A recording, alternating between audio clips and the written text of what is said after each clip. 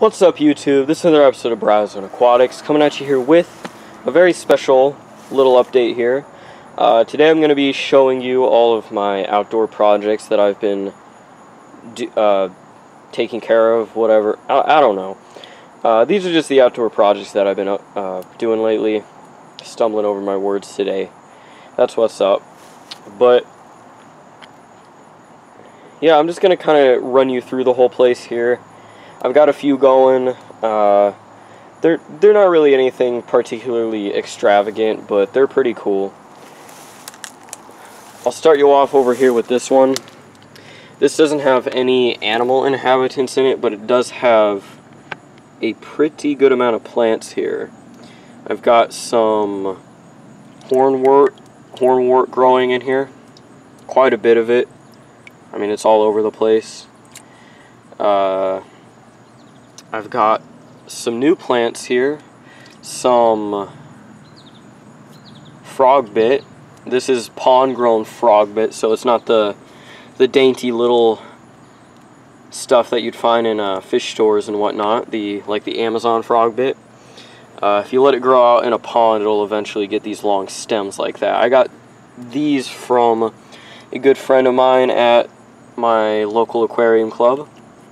This is also frog bit, but it's just not quite as mature as the other piece. And I have a lot of it in here. All that stuff right there with the big flat round leaves, that's all frog bit. Uh, and then one more plant that I have in here is, of course, my water sprite that I've been trying to grow out for a while. I've got a good, good little bit in here. Just going. Uh, the next one over here has some more new plants in it and also some familiar faces from the fish room is in this one. Uh, in this tank I have all these pieces of water hyacinth. Let me pull out the biggest one here for you. Look at these roots. They're solid 10, 12 inch long roots there. And then the top of it, of course, let me just easily bigger than uh, my palm. And then the fish that are in here, let me pull out this piece of duckweed. You always got to pull out those little uh, parasites. but uh, let's see if I can find them. They're very reclusive despite their bright coloring. Hint, hint. Might be able to see them down there. Nope, the glare is too bad. Actually, wait, there we go. You can see some of them down in that area. And those fish are the platies that I had inside in the planted tank. They're just chilling in there, providing some food for that water hyacinth. Uh, I figured I'd put them in there. It would pro it would provide, uh, you know, it'd be good for both the plants and the fish. The plants get the nutrients from their waste the fish will benefit because you know mosquitoes will lay the eggs in the water and they'll they'll be able to eat the eat the mosquito larva which is good for them very very good for them. Plus the water hyacinth uh, those long bushy roots will be able to uh, do a very good job at protecting their fry. So moving down into this one this is a little 10 gallon tank that I had sitting around so I figured I might as well go ahead and set it up uh, what I've got going in here are a couple of these freshwater mussels. I only have two. I'm going to go collect some more eventually. But for now, there's only two. Uh, put some sand in there for them so they can dig around. And then the plant that I have in here is all of my dwarf water lettuce. I decided I would try and separate all the other plants out the best I can. Just so I don't have any uh, hitchhikers, I guess if someone bought, say, some some of the water lettuce and they got some of another plant, whatever, uh, I'm sure they wouldn't mind, but still, I like to keep things as neat as possible. That's the big one. I'm going to move on to that one last. And then this quick little one here, that's the 20 gallon planted tank that was inside. I'm going to fill it up and leave it out here for the rest of the summer. Breed something in it, grow some plants, whatever, whatever it may be.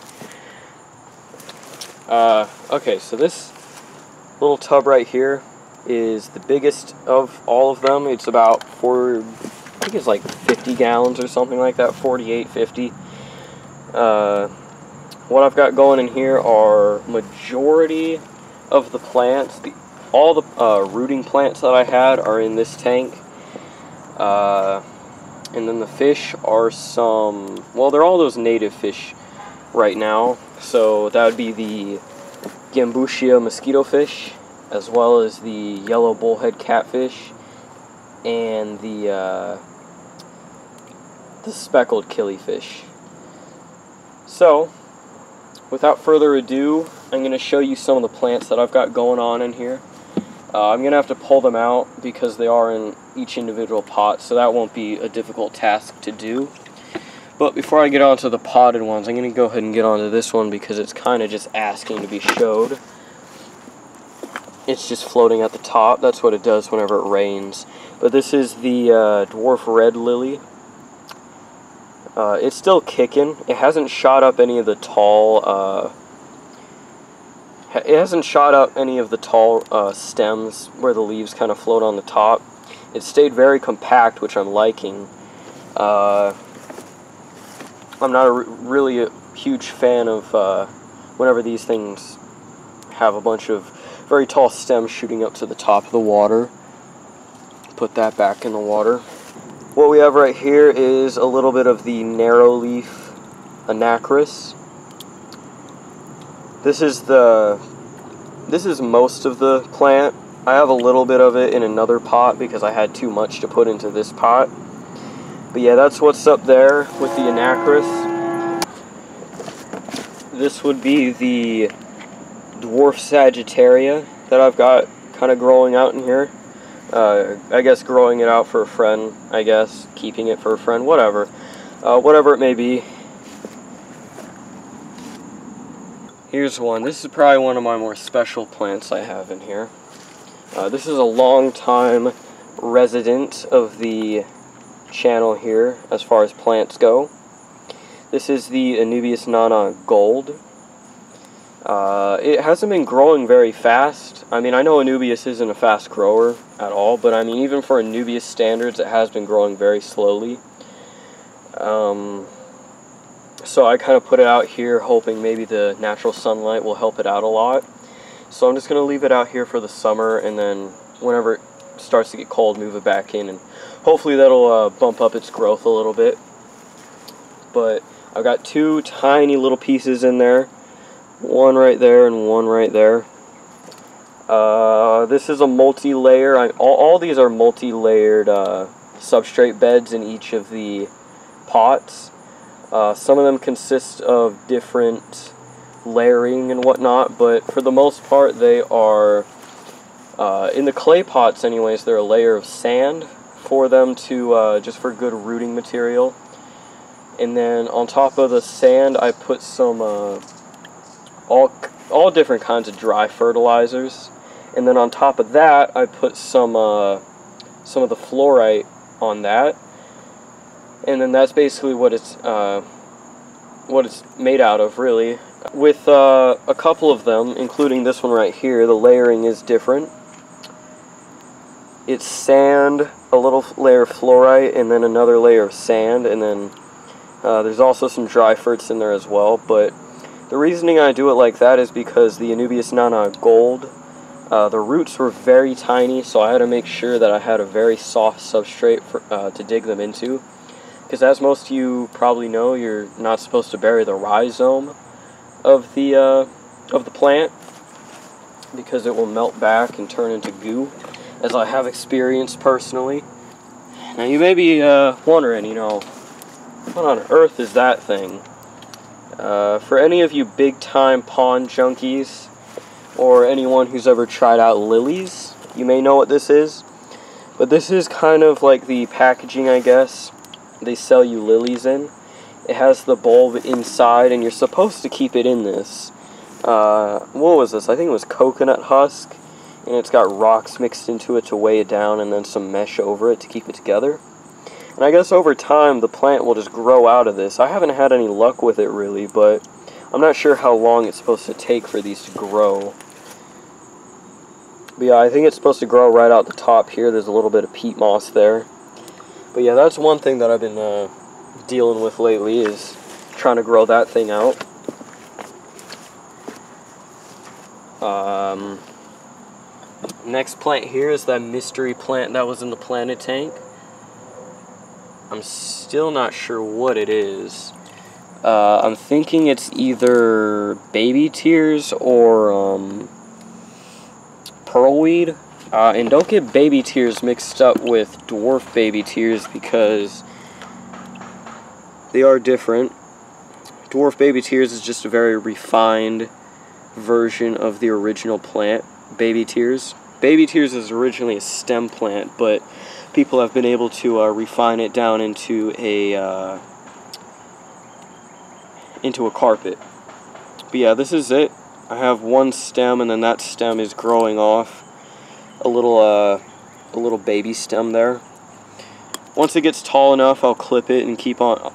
You know, eventually I'll just have a bunch of it, but originally it was a tiny little stem, maybe about that tall, that just found its way with uh, the Anacharis that I bought. Now here's the Ludwigia. Ludwigia repens broadleaf. Uh, it's growing out pretty good. Uh, I've been having a little bit of trouble keeping this stuff in the substrate, so I have a good feeling whenever I put this stuff into the into the pond there, it's going to go all over the place in the water. But yeah, this is it. I have, mm, I don't know, somewhere around six stems at this point. Maybe more. I don't know. And this is what I'm talking about. You guys should remember this plant here. This is the large piece of Anubias nangi. And this stuff has skyrocketed in growth, okay? Ever since I put it out here in the pond, I gotta back that up so you can see the whole thing. But ever since I put it out here in the pond, the growth has just exploded. Look at that. It compared to my hand. Uh, and I bought it, you know, much smaller than this. Uh, it was probably only about, I don't know, probably about this many leaves right here that I'm have in my hand whenever I originally got it. And now it's turned into all this. And it seems like every day whenever I come out here and check it, it's got a new leaf. Like this right here is a new leaf. This is a new leaf. Uh, a few of these I remember were new leaves. I remember whenever this one was growing out. Uh, but yeah, it has officially uh, attached itself to the driftwood naturally, so I, I was able to cut all the string off. But now it's time to get into the fun part, which is the fish in the tank. These guys I'm just now moving out here. Uh, and these are the, excuse that, the dogs are wrestling in the house. Um, and these are the, uh, what are these, the uh, Aequidens metae. And I've got eight of them, all of them are still doing good. It's actually about time to put these in the water, so I better go ahead and dump those and they're all doing good. I decided to move them out here and just get them a little bit more growth. Uh, as I mentioned earlier, the mosquito larvae are, are, helping you know everybody in this situation. And then the last things that I've got to show in here are the native fish. I got the gambusia, the speckled killifish, as well as the yellow bullhead. So that's the pond update. So with that said, comment, rate, subscribe, respect the hobby, respect the hobbyist, and most importantly, respect the fish. I hope you enjoyed the video, and peace out.